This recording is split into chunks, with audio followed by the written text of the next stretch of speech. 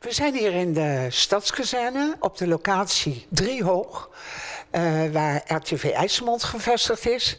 Naast mij ziet u Albert van Damme zitten. Welkom in de uitzending. Dank je wel. Je bent hier niet uh, zonder een reden, maar we beginnen eerst even om jou iets te overhandigen voor het werk wat jij allemaal gedaan hebt bij RTV IJsselmond. En daar gaan we straks even samen over praten. Albert, ja, ik wil je namens uh, alle vrijwilligers en, natuurlijk ook namens het bestuur uh, van harte bedanken voor je inzet.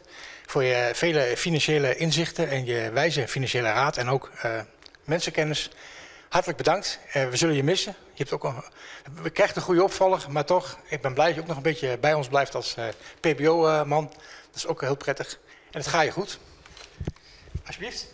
Dus, Dank je wel. Ik zou zeggen, ga lekker uit eten of zo met je vrouw ervan. En nou, dat, dat komt ook bij je vrouw terecht natuurlijk. Oké. Okay. Tot ziens. Nou, dankjewel.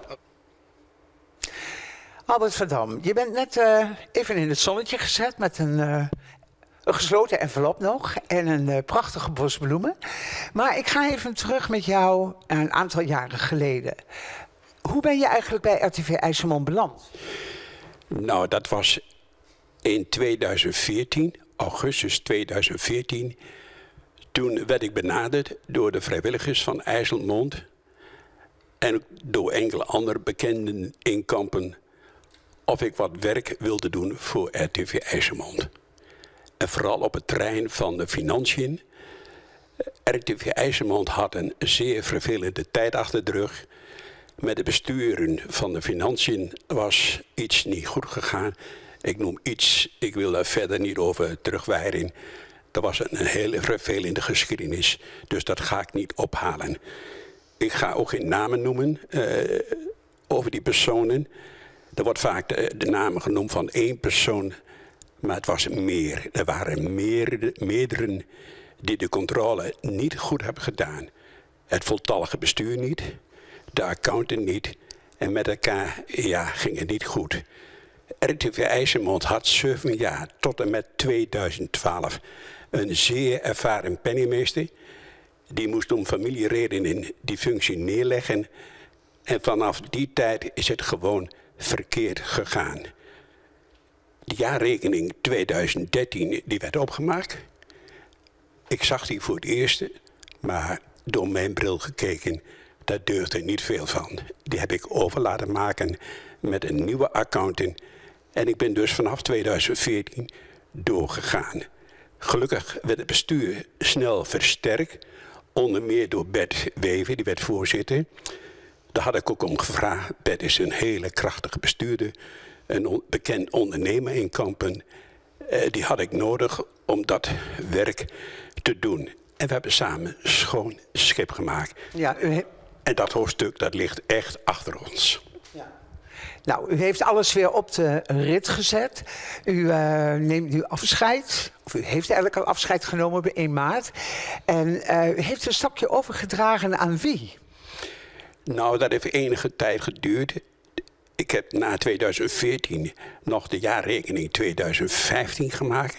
En zeer recent, eind februari, is de jaarrekening 2016 opnieuw vastgesteld en goedgekeurd door de accountant. Een goed, goedgekeurde jaarrekening met een positief resultaat. En daar zijn we wel een beetje trots op. Nou, toen heb ik aangegeven, omdat ik in januari 79 werd. Ik zit dus in mijn 80ste levensjaar. En ik vond dat het nu tijd werd dat ik een stokje moest overdragen. Dat heeft enige tijd gekost om een opvolger te vinden. Maar die hebben we gevonden ja, het was een buurman die woonde vlak bij me, Willem Westendorp. Die gaat binnenkort met de FUT, met pensioen. Willem is, misschien mag ik het niet zeggen, maar hij is 62 jaar, dus nog een stuk jong. Neemt hij je vast niet kwalijk? Nee, denk ik niet. Maar hij heeft een heel bijzonder beroep. Hij is inspecteur van belastingen.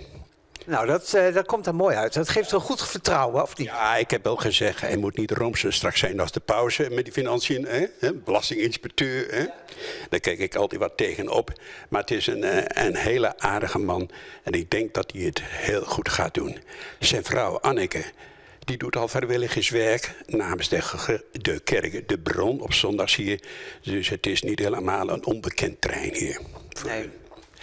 Uh, Albert, ik, uh, ik, bedank jou heel hartelijk voor uh, dit interview. En ik denk dat we toch wel even mogen benoemen dat na een lastige periode... dat we RTV IJsselmond wel weer op de kaart hebben gezet. Met heel veel uh, vrijwilligers, veel meer mensen erbij. En dat het allemaal er heel goed uitziet. Ik onderschrijf dat. Ik had die functie ook nooit op me genomen.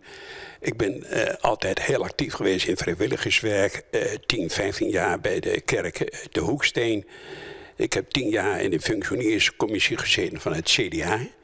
Ik ben acht jaar raadslid geweest en ik dacht, nou, nu is het einde. Maar toen kwam IJzermond en gelet op de vele vrijwilligers bij IJzermond... en hoe spontaan zij dat doen ja, ik kon die functie niet weigeren. Dat is mede de reden geweest dat ik het gedaan heb. Maar IJzermond mag trots zijn op al die vrijwilligers. Dat eh, onderschrijf ik van harte. Nou, dan sluit ik daarmee af. Albert van Dam, ik wens jou al het goeds verder in je leven. En je zult vast nog wel eens hier binnen wandelen om te kijken hoe het met RTV IJzermond gaat. Ik zal IJzermond volgen en ook kritisch. En u draagt IJzermond in ieder geval een warm hart toe. Dat doe ik altijd. Oké, okay, dankjewel. Dank u wel.